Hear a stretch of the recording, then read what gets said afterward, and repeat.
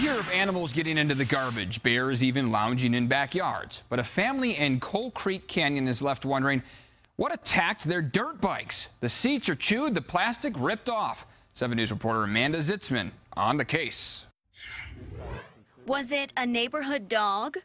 Some kind of animal hair on this white here. A mountain lion? Or a bear?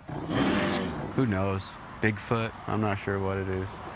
Dean Starkey left scratching his head. I've never heard of anything just chewing on a motorcycle like that. He came home from work to find the seats chewed, the plastic ripped off of his kids' dirt bikes, holes punctured in the gas tank. When I lift the bike up, gas immediately starts dripping out.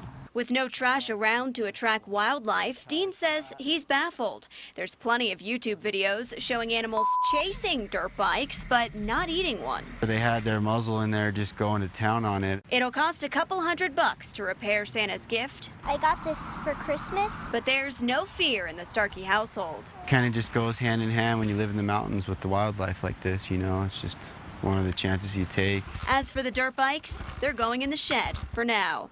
Amanda Zitzman, 7 News.